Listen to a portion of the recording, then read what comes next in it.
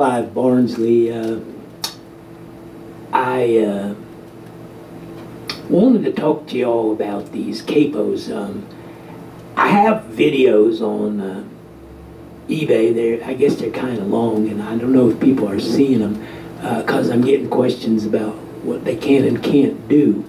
Um, so I'm going to do a little demonstration. The key to using these things is that they have to wedge in the string tight enough. If they don't, they can pop off in the middle of a song. So that's the hitch, and that's why there's three sizes, because um, if you uh, if you pop one off, then uh, you uh, need no, you need the next size up uh, if you want to be sure.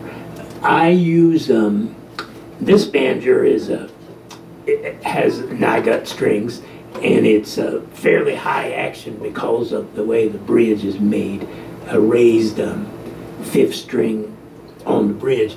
This does not have a particularly raised fifth string on the um, nut. It's uh, yeah on the nut end itself. It, uh, but I've thought about putting one on actually, but right now it doesn't. Um, so I end up using mostly uh, the large size on this banjo, but this banjo is made, it's spread out and it's high, and it's, for me that works out pretty good. It's actually a fairly, um, it's like a classical guitar is kind of the idea. And uh, if you have a banjo that's like that, you're going to want this large size.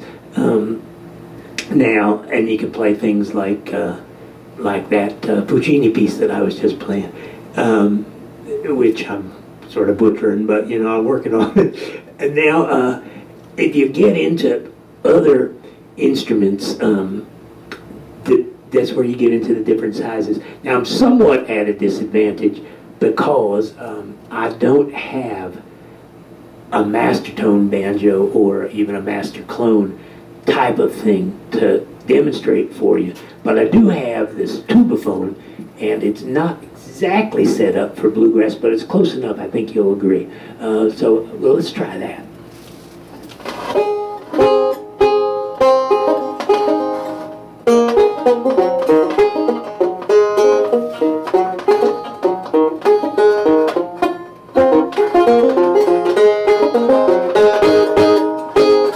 So uh, another thing that I'm lacking here, to be honest, uh, is uh, a bluegrass player because I, I ain't no more. I used to play bluegrass, but that was a long time ago.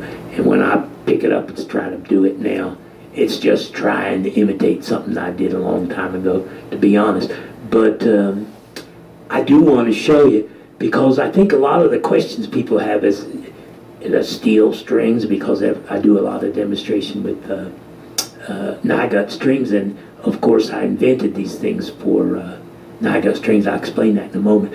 Um, but uh, that said, there was absolutely no problem with steel strings in these items at all. And the small one is really intended for uh, steel string. No, it's too small for the uh, nylon Nylgut string banjos for the most part.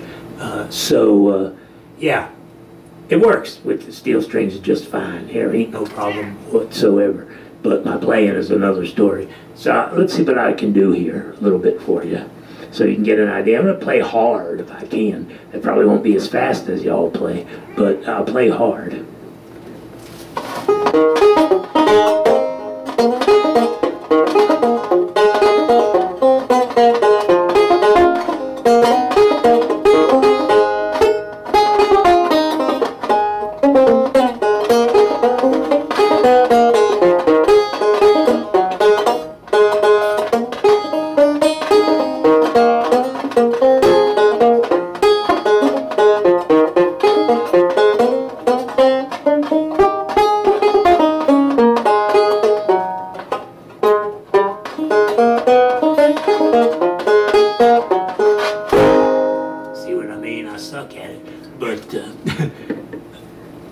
I didn't deliberately say that out all the way from the mic.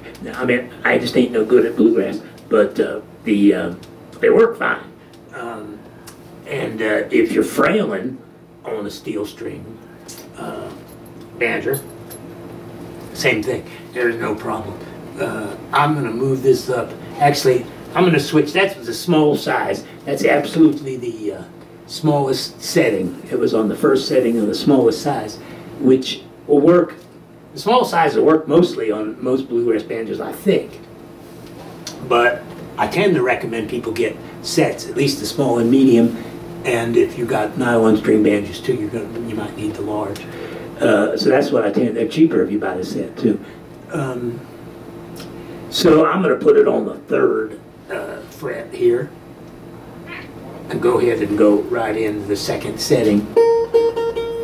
This this banjo has a raised uh, fifth string nut and a raised fifth string uh, bridge.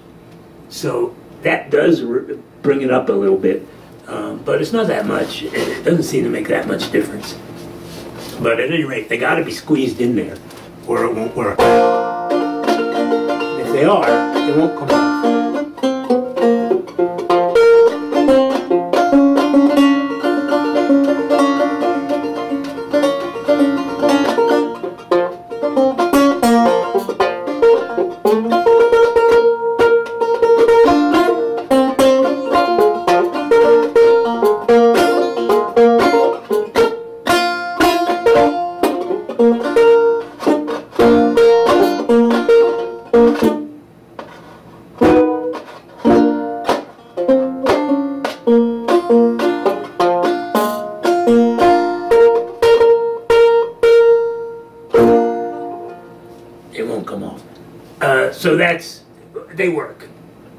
That was the pur- That's the purpose of this video. I'm going to call this video "They Work." uh, yeah, one other thing I wanted to bring up, and I'll do that in a moment. So I wanted to say, uh, I got nothing against, uh, you know, the traditional ways of doing fifth string uh, capo uh, at all. My um, uh, Vega banjo, uh, the uh, that has spikes in the neck, and I have used them. I tend to use these things because I'm used to using them now. Sometimes I forget the spikes are there, but uh, but it does have them.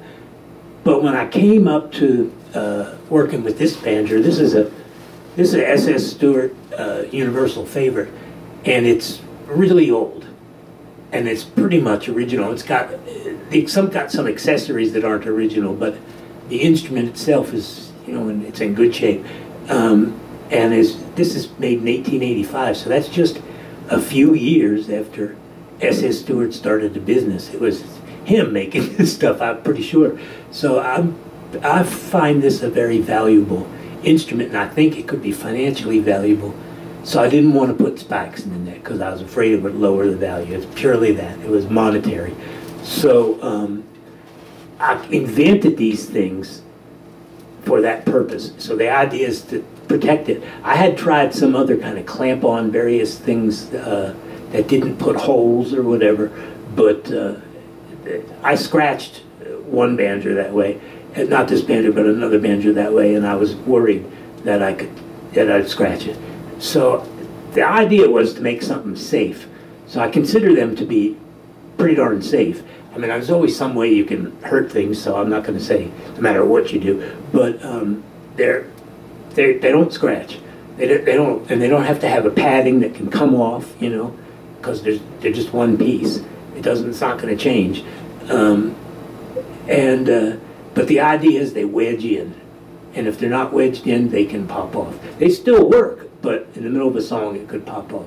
So you have to make sure they're tight and somewhat a good way to experiment with that if you have the set, if you bought a couple of pieces, is um, or three, is uh, you deliberately or go ahead and put one that seems a little bit too loose and see if you can pop it off and kind of get an idea of what you can and can't do with that sort of thing. But if you have all three, you should be able to just about any banjo. The action on that um, first one I was playing is uh, very high I, I, doubt people have anything that's got a higher action. The, the, the, fifth string is deliberately quite high on that.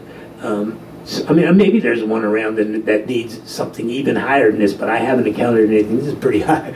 Um, so uh, anyway, so far as the do they work or not uh, thing is concerned, I mean, you know, eh, they have a. I mean, I wouldn't be selling them, especially not with a no questions asked return policy, unless um, unless they work. you know, that would that wouldn't be too smart. Um, so I mean, maybe I'm dumb, but I don't. I hope not. Uh, anyway, um, I use them. I use them every day, so I know they work. Uh, it's just that you know I'm a uh, handicapped senior, and I just it's just a little side income. It's just pocket change. I don't expect this to be a huge thing at all. There are many ways to do this fifth string capo thing, but this one fits in your pocket and ain't expensive, and I thought it was a pretty good idea. So anyway, have a good one.